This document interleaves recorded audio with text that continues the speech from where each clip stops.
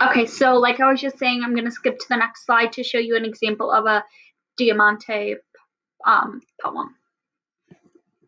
Move myself. Okay, so this is an example. This is antonyms. So it starts off with a topic and then it ends with a topic that's opposite. So it goes day, bright, sunny, laughing, playing, doing, up in the east, down in the west, talking, resting, sleeping, quiet, dark, night.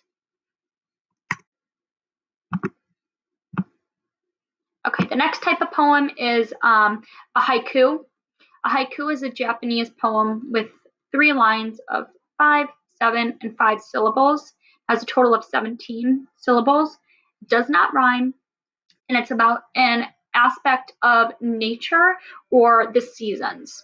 So, right over on the side of the screen, um, there's an example.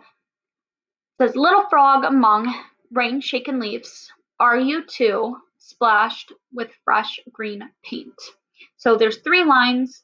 Um, the first line has five syllables, the second line has seven, and the third line has five syllables. Uh, this is a poem by Gaki. Next is a Senryu. This is just like a haiku, um, follows the same exact pattern, but this one's more about humans and human nature, just everyday things, instead of nature, instead of the natural world. Okay, so this example is by Christine O'Connell George. First day, new school year, backpack harbors a fossil.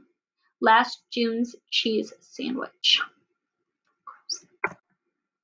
Okay, this is one of my favorite. It's called a concrete poem or it's also known as a shape poem. It's written in the shape of its subject.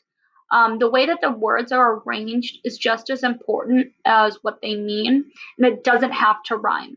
So this is an example that I found. I couldn't find who the author was, but it is in the shape of a rainbow, and the words that are in it describe each color of the rainbow. So if you were doing one about football, um, you could talk about football, and the sentences, the lines, the words, they would all be um, constructed in the shape of a football. Let's go to the next one. The next is uh, free verse. This poem does not have to rhyme or have any patterns. It can vary freely in length, lines, stanzas, and subjects.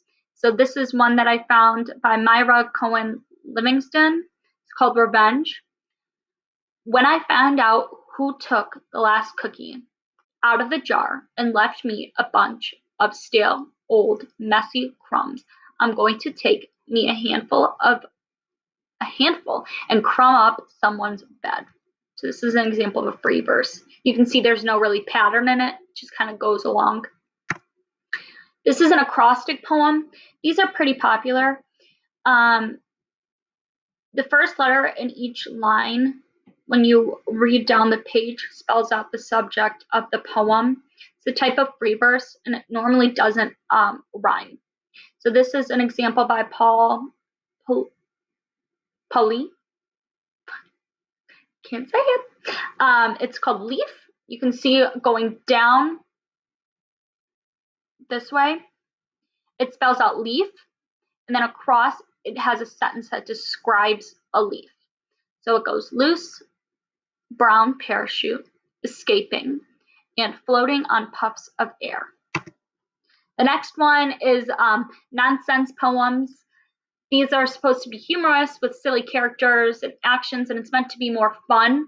It can be written as a limerick or as another form of poetry. Um, this, this is another example. Uh, the poem goes, I kissed a frog because I'd heard that it would be that it would turn into a prince. That's not exactly what occurred, and I've been croaking ever since. So you can see that it rhymes. Um, it's just supposed to be silly, just a silly poem.